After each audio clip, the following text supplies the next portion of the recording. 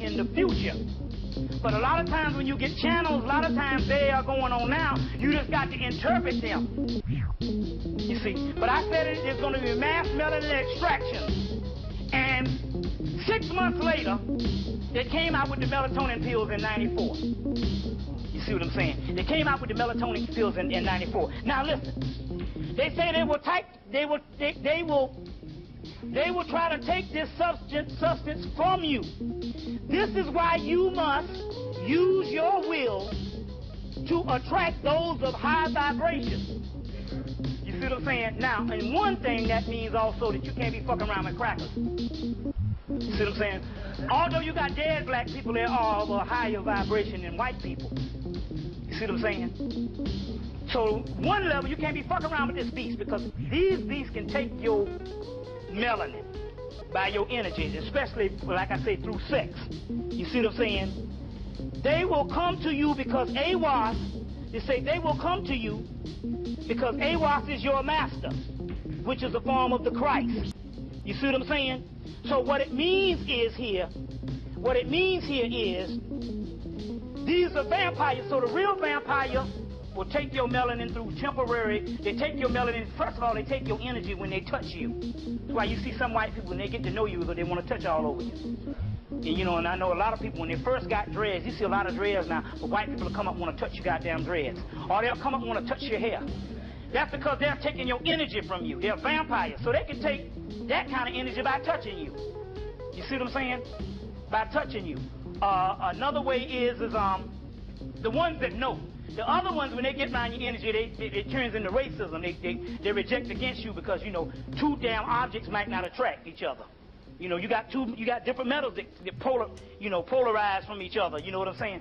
So, but the ones that know, they come and try to take your energy. That's one way. Another way is through sex. Another, uh, another way is basically, is getting so bad now that they just got to just basically just snatch you. Take your whole body and, and take the parts out and make substitute. And that's the reason why they had to crush the mummies up, and they've always been eating us. You see what I'm saying? They've always been eating us for years. Because they are the vampires. You see what I'm saying? And that's what they're talking about here. You see, trying to, vampire does what? Tries to suck your blood. What is blood? Blood, the, the liquid blood is only that, the liquid blood is only a fraction of what's in you as the melanin is throughout your whole blood system. You see what I'm saying? So this is what vampires really is. You see what I'm saying? So, so this whole thing that's going on now is in actuality, now it's funny. You see how the spirit is? It's funny because I'm always observing things. We said that it came out with the melatonin pills in 94. In the summer of 94, the same year that the melatonin pills came out, the metaphysical books, stores, started getting in at least 10 of, they had at least 10 or 20 books that's been released within the last three years on vampires. They got all kinds of books on vampirism. Housing ministry, based on some damn black churches, which we know that they can control our people, that our people might not even know nothing about it.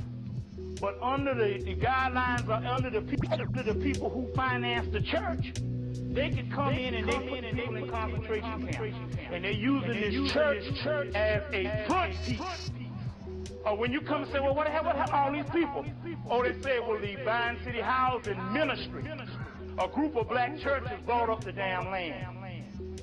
You see, so they can come to the group of black churches and actually give them the finance to buy up the land because as a front piece, but the whole time they have come in and wiped out the land. So they said, we got these vacant houses. So they'll come in and tell it and say, well, you know, we're giving you the finances to buy, buy this stuff and stuff and start, start this little black business. You see what I'm saying? So when you ask, what happened to all these people? They say, oh, the Vine City Housing Ministry is the one. That's the black church is the one that bought up all this land. So they're using to put us in the census in the in the in, in the uh put us in the census in the early turn of the century. They didn't have a census on black people, so all the damn black teachers, preachers, registered all the people. You see what I'm saying? Registered all the people. So they can use these particular, they can use these people, you see what I'm saying?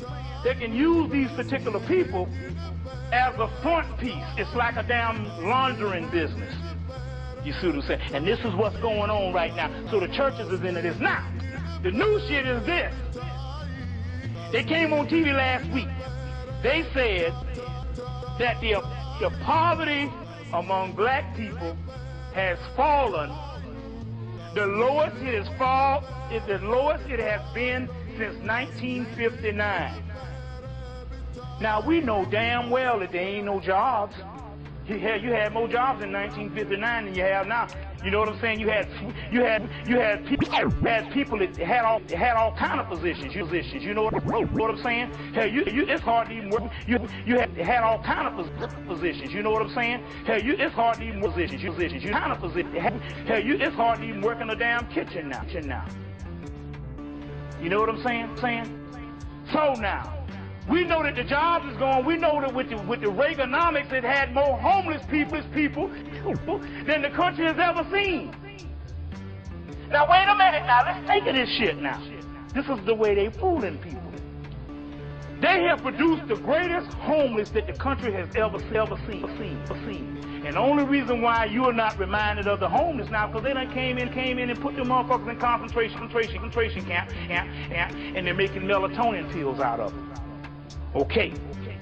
So now, if we know there's no jobs, you see, and I, I don't know, I haven't worked on a, on a job, a, a legitimate job since 1989. But I know uh, damn near 10 years of college. The last time I just tried to come out and go out and get a bullshit job so I can pay rent, I damn near caught hell. You know what I'm saying? I damn near caught hell. You, you like now, it's like every place else. Atlanta didn't used to be this way, but now you can lose a damn job. Might take three months to get a new one. You see what I'm saying? So I damn near caught hell trying to get a bullshit job. You see what I'm saying? So my point is, there are no jobs, but yet, but if there are no jobs, how in the hell can poverty fall the lowest it has been? Uh, 29.5%. How is that? Because now they're saying that Basically, they telling you the truth. The people that was in poverty no longer exist. So therefore, the poverty has fallen, the lowest it has ever been. Now let's look at the magnitude. We got to go back and think a minute now. Listen, they came in and say that the poverty has fallen the lowest it has been since uh, since 1959. Yet in 1959, 1960, you had the unemployment rate was not as big as what the hell it is now. You understand where I'm coming from?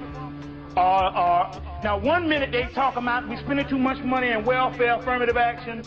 We can't do the health care, and we are running out of money. The country gonna be broke. The country, and we already know the country. People know the country been broke since the 1950s, right? So now, what they're actually saying that in actuality that the people in poverty no longer exist. So it's not saying that poverty has fallen. They're saying that the people in poverty have fallen off the planet and became so low now since 1959 have actually died. And these are the these, these are the way they say things. You see, these are the these are the way they say things. You see what I'm saying? So now, look at this. They even bear witness to it in the scriptures. Uh, you see, the Bible, see, you got to trace this thing down because when you're dealing with the Bible, you're dealing with a very bastardized book. Although we prove that there's wisdom all through it, but it's damn near like connect the dots. It's in fragments. And so we're talking about years and years of people coming in and carving up shit. So what we're going to do is we're going to go deep into the scriptures. So now, the original scriptures of the Bible is the first four gospels of the complete gospels. This is the one coming from, um, this comes from, um, uh, the guy is Robert J. Miller is the editor. And these are the complete gospels. So anytime you get, if you want to, if you want to deal with the gospels to compare to your Bible, always get the ones that say the New Jerusalem Bible. You will see some of those or you can get this book, The Complete Gospels, which is only talking about first four Gospels. Because one of the four, four, first four Gospels, which is what? Uh, Mark, Matthew, Mark, John, and Luke. You see what I'm saying? But in here, they're going to add other ones the book of Q, the gospel of Thomas, the gospel of James, the gospel of the Savior, the gospel of Mary. The go- you see what I'm saying? Now, what is this? I'm going to explain this thing to you. So if you want to get the real ones, anytime you see that book with that line down the middle of the page, that's not the one you want. That means that they done carved up some shit. The one you want to get is this one, the complete gospels. It's uh this one costs um, you'll find this book in, in, in, any of the stores. They're to have some in here. Uh, but you can find this book in any, in any of this uh, uh, Polebridge Press. But it's The Complete Gospel by Robert J. Miller. Now, uh, there's a section in here to bear witness to all of this that's going on. Now, to read the Bible, we come to find out that 98%, all of the damn Bible, is now. Never happened in the past. You see, somebody took some scriptures that was all mystical and prophetic and wrote it, historicalized it. And that's what's fucking up everything. We're going to get deeper into that tonight. Look, this is the part of Matthew that I want to read. And it says this. And the, the disciple, this is in Matthew, Matthew 17. You can get this right out of your Bible. Matthew verse 17, Matthew 17 verse 4 to 25. Matthew 17, verse 4 to 25. This, fortunately, is right in your regular King James Version. And it says this. It says, the disciples quoted him. They, they're quoting Jesus. They say that in the light of this, do, do, say, do the scholars claim that Elijah must come first? So they're saying that Elijah must come first. That's what the Jewish nation is on hold now. That's why they all fucked up. They've been looking for Elijah, but they're the fake Jews, so they can't receive the Elijah, but the Elijah came here. That's why they went to Ebony in 1983 and told Ebony, you got to change his name from Elijah to some some Wilford Poole or some kind of shit because they knew that we got the Elijah. Now the city Elijah must come first. And it says, in response, he said that Elijah does indeed come to restore everything. So we're talking about in a period of the 20th century. See what I'm saying? Because he was born 1897. And so he didn't come until 1931 when he got the actual teaching. You see what I'm saying? Now, so some people don't believe this shit. Well, listen. The scriptures say that Elijah must come. In Egypt, they say Tahuti must come. You see what I'm saying? In, in Hebrewism, it's Enoch, or it's John in Christianity.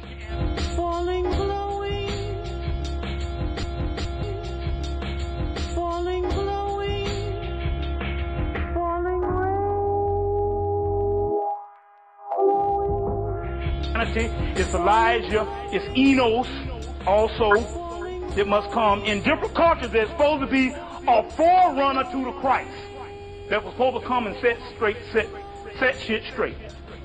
So now, whether we say we don't believe that or not, well, hell, if this, if this is going into the year 2000, even when the Christians say that the Christ is coming, and if we are just going to take the Christian script, that means that Elijah had to have come to restore the nation, he had to do it more than damn four years. You see what I'm saying? So obviously, we can bear witness that that was the one because it says in all ones that it would, would be a forerunner. Now, this is what it says Elijah does come and to restore everything. But I tell you that Elijah has already come. So now, this is the future. Whoever is speaking is speaking right now in the future.